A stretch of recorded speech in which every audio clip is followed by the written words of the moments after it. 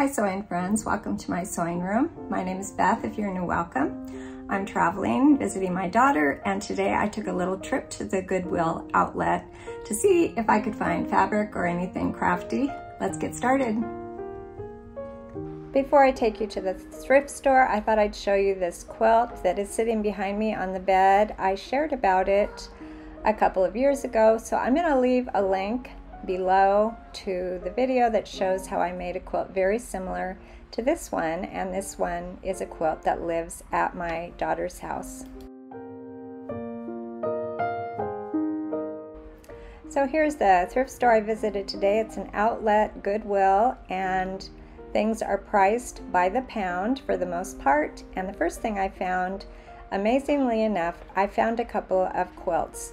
So it, everything is in bins and you have to dig through a lot of junk, but I did find this handmade quilt and one of these days I think I'll share how this quilt was made because I have made one like this before but it's been quite a while.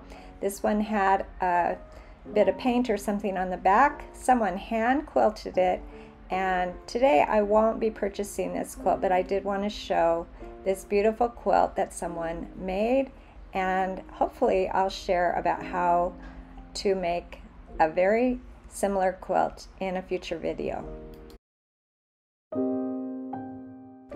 I did dig through a lot of bins at the Goodwill store and I saw this quilt from a distance. I thought it was factory made, but the more I looked at this beautiful quilt, the more I realized this was hand embroidered hand quilted and someone spent a lot of time on this quilt and this is a quilt that I did purchase today.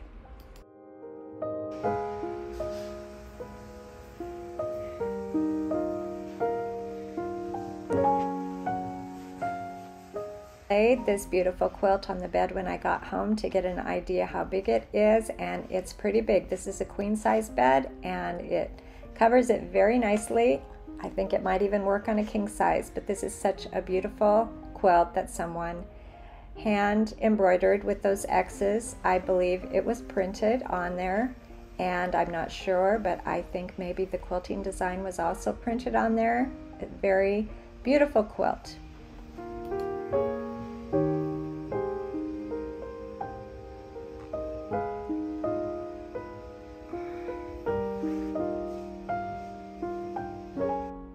Is the edge of the quilt. There is no binding. It looks like uh, the quilter turned those edges in and did a little slip stitch all the way around. A very unusual way to do the edge. At least I have not seen many quilts like that. And here's the backing. You can see where the quilt, the hand quilting stitches are and they went around all of the motifs, all of the flowers and leaves, and they did a really pretty quilting design all over this quilt.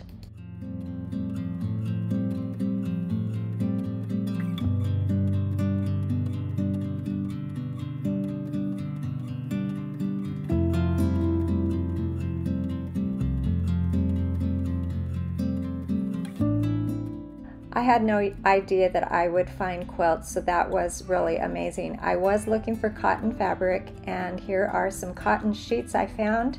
Here's a great one for the back of a baby quilt, and I found a cotton tablecloth that is really pretty fabric that I will be using in a future quilt. I might use this for a backing.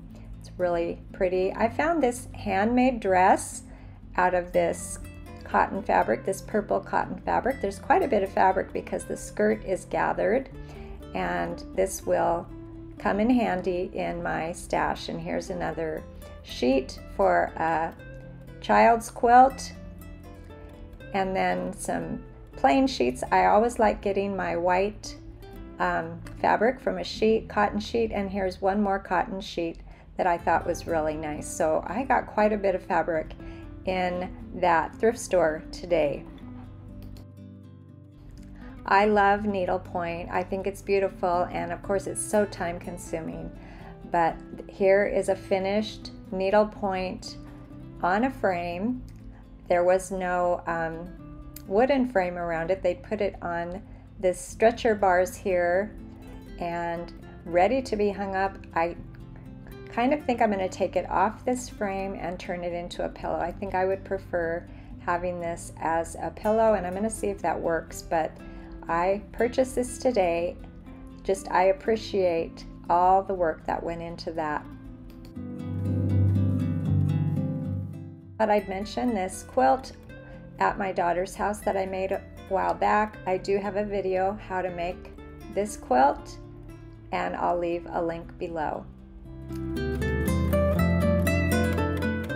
The fifth thing I found was yarn and beads, just some random craft supplies, a lot of beads, so someone was getting rid of all their beads, and I have a desire to learn how to make some jewelry, bracelets, and whatnot, so I purchased all of these beads.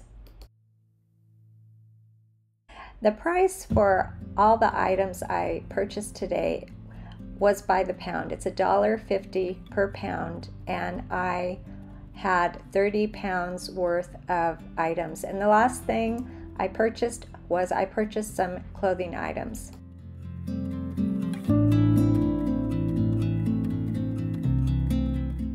This is a wool sweater, and I thought it was really pretty, a good name brand, and I purchased that. I have a J. Jill dress a long, just flowy, simple dress. Um, I hope you can see my filming okay. I'm not sure about this sweater, but it was all wool, and I suspect it's an older brand. A brand new shirt that's too big for me, but it's such a simple design. I think I will be able to take it in and it will fit me just fine and then I found a sweatshirt that it will fit me or my daughter. So I got a few clothing items, and let me tell you, I had a lot of fun today at the thrift store. I'm curious to know if you have any favorite items from my little shopping trip today. What kind of things do you like to find at the thrift store? And maybe um, what you like best in this shopping trip that I had today. Let me know down in the comments, and I'd love to hear from you. Thanks for joining me today, and I'll see you next time.